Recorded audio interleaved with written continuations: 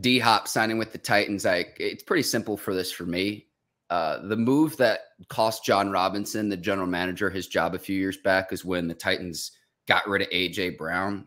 You plug and play D Hop, and you've got a nice tandem with Derrick Henry, D Hop in Tennessee. The question I have now, really at this point, is who's going to be the quarterback throwing the throwing the football? Because yeah, you've got Tannehill.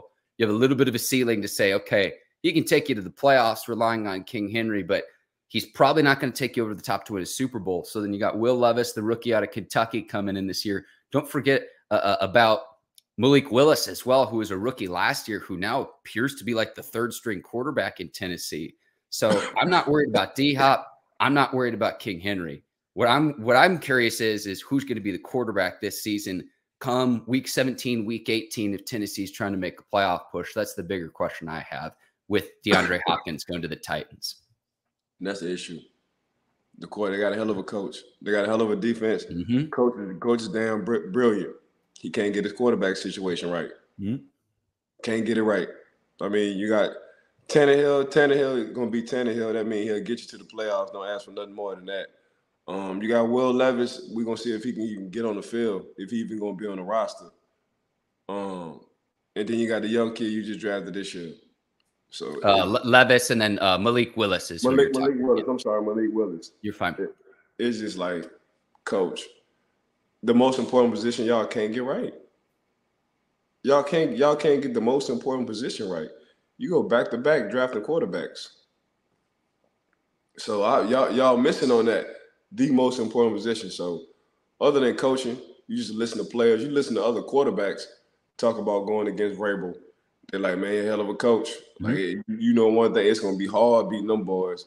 But then you go on the flip side, on the offensive side, other than King Henry, man, it's just difficult. I mean, but getting DeAndre Hopkins, um, he always open.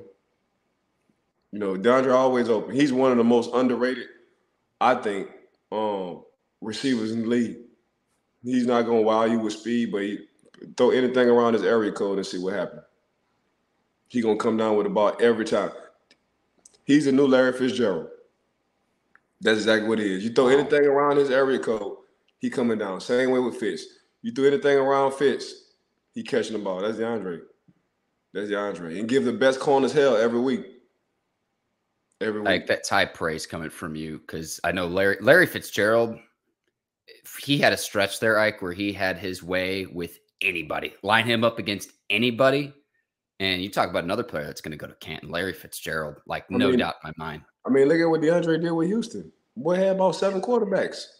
Went to the Pro Bowl every year. how, how you go to the Pro Bowl with seven different quarterbacks every year? like I said, he always open. Yeah, yeah. Ike, uh, Tennessee. Couple two things, and we'll go to the next topic. You mentioned Vrabel putting his team in positions to win, manipulating the clock, understanding the rules of the game to say, we need to conserve time, we need to waste time, we need to conserve a timeout. Being able to manipulate the rules, purposefully take penalties within the confines of the game, putting his team in positions to win when it's the difference is marginal. I noticed that with him, number one.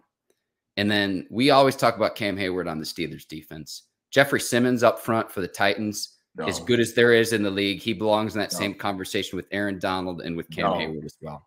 No, one hundred percent. Simmons is a guy named Dog. Uh, he he another one. Don't get the recognition he's supposed to get. But ask anybody who played on the offensive side about him, they're gonna say, "Man, that boy hell."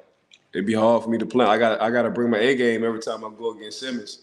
That's a must. If not, he just gonna make me look bad. The Monday the Monday morning meetings with coach and, and when the team watch me, it ain't gonna look good. But Simmons, Simmons is like that. I kind of honestly think like Coach Vrabel don't mind taking taking penalties. Um, he don't mind that offense getting close to that red zone. He takes field goals all day because he knows how small the windows are in the red zone, then getting bombed on. So them penalties don't bother him at all. You know, Coach Coach Vrabel have a, a different, and this is my personal opinion.